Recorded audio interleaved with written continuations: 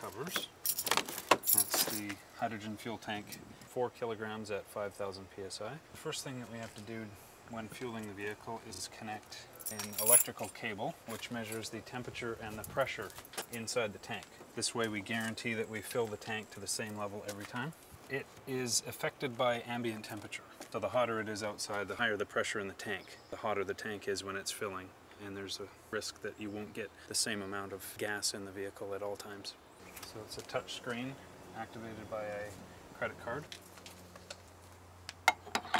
So it's filling right now. Oh.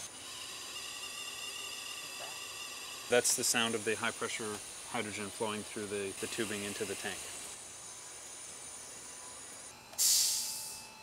And the sound that you just heard is the high pressure storage switching from one set of gas cylinders to another. It works as a cascade filling system. So it fills the car down to a certain minimum flow rate and then it switches over to a higher pressure storage bank. Typical fill takes less than three minutes. The range of the vehicle is approximately 150 to 200 miles and that's utilizing three and a half to four kilograms of hydrogen. The auto manufacturers are not putting all their eggs in one basket in terms of just fuel cell technology.